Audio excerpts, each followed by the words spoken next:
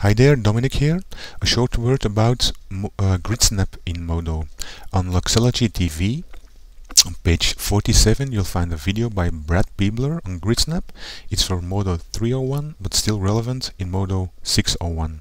As you see here, I have a simple plane in my viewport, and I have set snapping options, snapping on, and snapping to snapping mode to grid.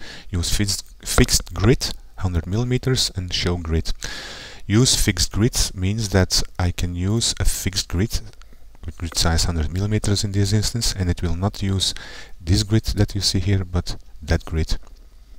You can also set it here in the properties. Uh, when I say show grid it will show in the viewport. If I don't show it, it will not show.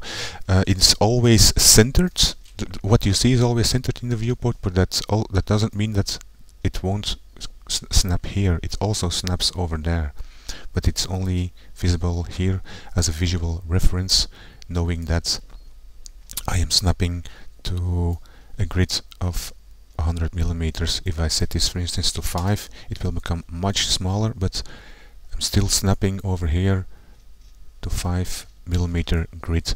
If I zoom in, then that becomes more clear that I'm snapping to 5 millimeters. Just wanted to show you guys because on the video that Brad made that wasn't very clear to me. Uh, you can also see that with my element move tool I have feedback in my viewport and that's because I've set the tool to advanced in the tool pipe. Hope you find it useful and bye for now.